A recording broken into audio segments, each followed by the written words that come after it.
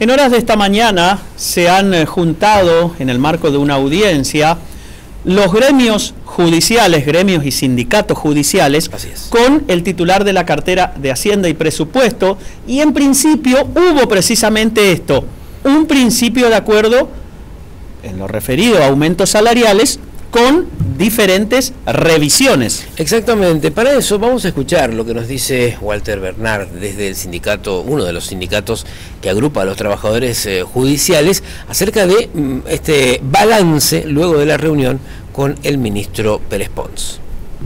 Efectivamente hoy llegamos a un acuerdo, los cuatro gremios judiciales, la entidad de la justicia de paz y de faltas, y la Asociación de Magistrados Funcionarios junto con el Ministro de Economía, el cual establece una recomposición salarial escalonada para el sector judicial y se van a aplicar las dos cláusulas de ajuste de revisión en febrero y en septiembre como establece la ley 3424A.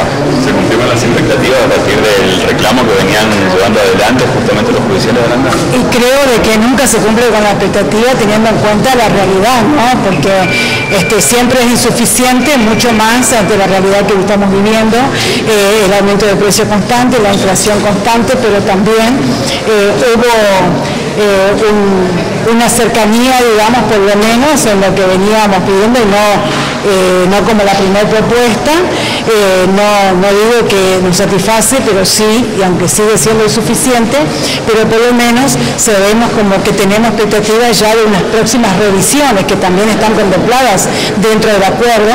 Donde, propuesta, los detalles son que tenemos un porcentaje en marzo, este, tenemos en julio, en septiembre y en diciembre. El ajuste por revisión que se hace con el sueldo de febrero, pero que se abona en marzo. Y también en agosto tenemos otro ajuste por revisión que también este, es tomando agosto, pero se abona en septiembre. Y nosotros... ¿Se entiende algo así como una cláusula de gatillo para el sector docente? Es como una cláusula de gatillo, pero de acuerdo a nuestra, a los sueldos de la media del MEA, de los poderes judiciales, tanto de Corrientes, Misiones y Formosa. Tenemos una media de los de la, media de, la región, una media de la región. Pero también, digamos, con estas cláusulas de que vamos a estar reuniéndonos de nuevo tanto en julio como en diciembre para ver justamente la proyección de la inflación y ver, este, revisar nuevamente el en marzo la eh, tenemos, estamos hablando de un 20% y también el, ajuste por revisión es más, digamos, si es más el ajuste por revisión. Ahora, tenemos una pauta de acuerdo a un índice que nosotros viene de la FAM, que es la Federación Argentina, que también establece este, la ley 2424 y con ese informe nosotros tenemos que ver los números y de acuerdo a esos números son los que deben aplicarse también en marzo. Ahora, ¿confían en que se llegue a buen puerto? ¿Por qué le consulto esto? Porque hay otros gremios que hacen revisión mensual de los preacuerdos. En realidad nosotros estamos eh, adhiriéndonos y prestando conformidad porque entendemos de que vamos a dar cumplimiento a una ley. Nosotros ya tenemos una ley que nos protege y sobre todo haber acordado un diálogo y haber llegado a este acuerdo, no solamente los empleados judiciales, sino que en esta instancia estuvimos nosotros como entidad de magistrados y funcionarios y la asociación de magistrados.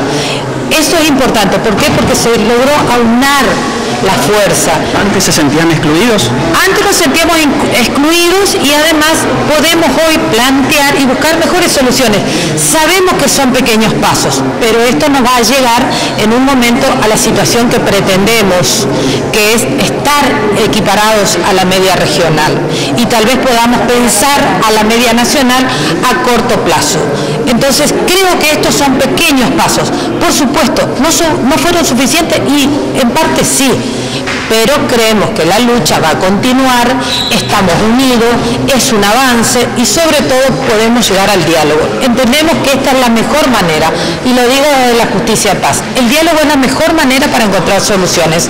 A veces van a ser más cortos los pasos, pero interesa, interesa que van a ser pasos firmes. Entonces, todo llegar a esta situación, digo, porque charlando con otros sectores me decían, a veces no hay necesidad de que hagamos medida de fuerza, a veces no hay necesidad, se soluciona todo, como decía usted, doctora, dialogando, levantando un teléfono y encontrándonos en audiencia. Lo que creo que siempre uno cuando puede dialogar va a encontrar carriles. El tema es que quebrar un, un diálogo también es muy difícil después poder remontar. Entonces uno tiene que pensar, ¿esto nos beneficia? A corto plazo y a largo plazo también, porque a veces buscamos medidas que son efectivas a corto plazo, pero a largo plazo las sentimos como una frustración. Esto, este caso entendemos que son pequeños pasos que no van a llegar a una solución definitiva que es lo que estamos buscando.